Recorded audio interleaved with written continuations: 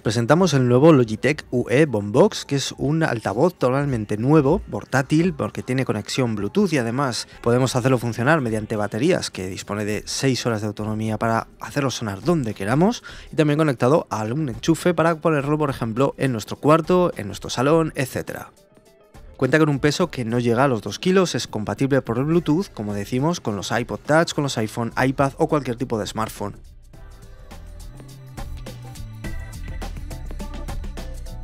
Además, tiene un diseño rugoso que va a evitar, primero, vibraciones que enmascaren el sonido potente que nos ofrece, y además consigue que tenga un tacto mucho más agradable. Tiene un diseño, como veis, elegante, moderno, ligero, convirtiéndose en uno de los altavoces que más nos han sorprendido actualmente.